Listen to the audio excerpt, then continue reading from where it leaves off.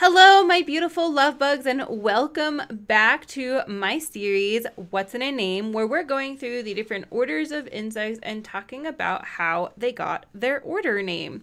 This is helpful for you because, A, when you can translate the Greek into English, then you know what we used to describe the group, and that can help you identify them in the field.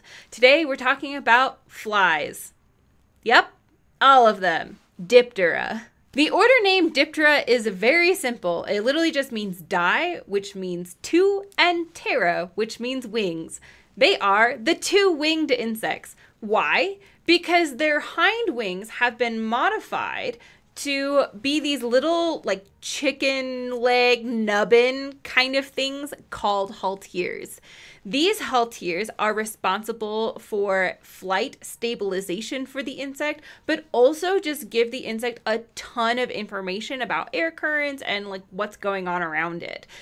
In the blowflies, the haltere is covered with 50% of the sensilla, and sensilla are the little hairs on the insect that are mechanoreceptors. They're letting the insect know if they're like gonna bump into something or what the air currents are. So 50% of the feeling hairs on some of these flies is located on the halteres, and that's why the flies can escape from you so easily because they can feel you coming from literally miles away. The Diptera are broken down into two different suborders. The first suborder is Nematocera. Nemato means thread and cera means horn. These are the thread horned insects or the thread antennate insects. This group is not monophyletic and is likely to change probably within our lifetime. Almost all of insect taxonomy is like up in the air. If you haven't seen my Hemiptera video, then go check it out because you'll you'll see how this changes all the time.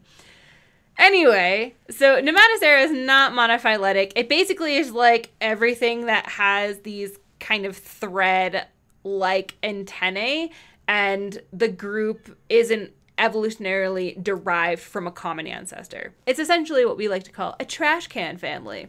What are in here? A lot of your biting flies that you don't like, mosquitoes and midges, a, a lot of your disease vectors are in this particular group. Not all of the flies that are in this group are disease vectors. You have a lot of helpful ones as well. Like you have crane flies, which decompose things. You have fungus gnats, also decompose things. And also, if you've ever been to the caves in Australia or New Zealand to see the glowworms, they are fly maggots uh, in this group of the Nematocera. So they have a bunch of interesting species that are not tied up to biting people or diseases as well. It's a pretty big group.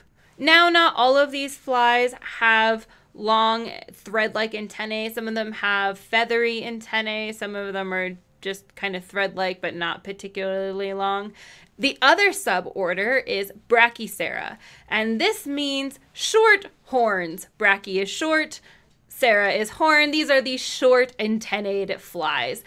Their antennal structure is very interesting because most of them have like a big lobe and then just a little hair that sticks off. Sometimes that little hair that sticks off is a little bit feathery. Sometimes, in the case of horseflies, for example, you have what kind of look like deer antlers like sticking out of their head.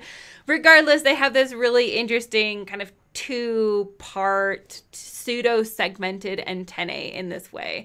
This group includes your house flies, your flesh flies, your blow or bottle flies, your horse flies, and a lot of pollinators as well, like a lot of hoverflies and bee flies are in this group. The soldier flies are also in this group. There are lots of flies, especially in Brachycera, that look like bees but are not. Going back to the order name, Diptera, if you see a bee flying around that when to upon closer inspection only has two wings then it is a fly. Although to be fair in the field if you're trying to identify them it's a little bit easier to identify them based on their eyes and their antennae versus how many wings they have because you know they're flying and it's hard to count when they're flying. But there you have it the nematocera and the brachycera make up the two-winged insects the flies